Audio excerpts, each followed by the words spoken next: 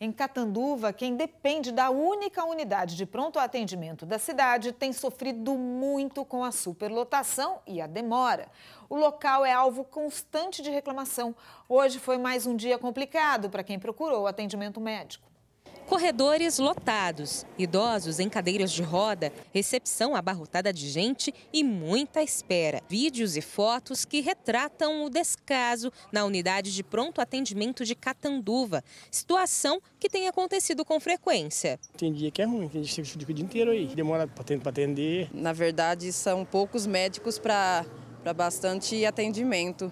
Quando está bastante lotado é complicado. A UPA 24 Horas tem como objetivo concentrar os atendimentos de complexidade intermediária e, assim, ampliar o serviço oferecido pelo SUS, desafogando os hospitais. Mas, de acordo com o Ministério da Saúde, cada unidade como esta deve atender a uma população de até 100 mil habitantes. E, no caso aqui em Catanduva, esse número já foi superado. Segundo dados do IBGE, divulgados no ano passado, a cidade tem mais de 120 mil habitantes e a UPA atende também pessoas de municípios vizinhos, sobrecarregando ainda mais a unidade.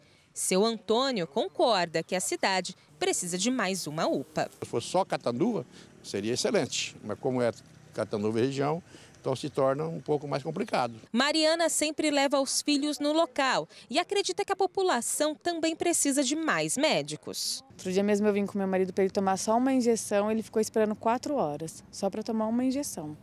E tinha muita gente. Bom, segundo a Secretaria de Saúde, em dias que a UPA está lotada, a prioridade é para os atendimentos de urgência e emergência.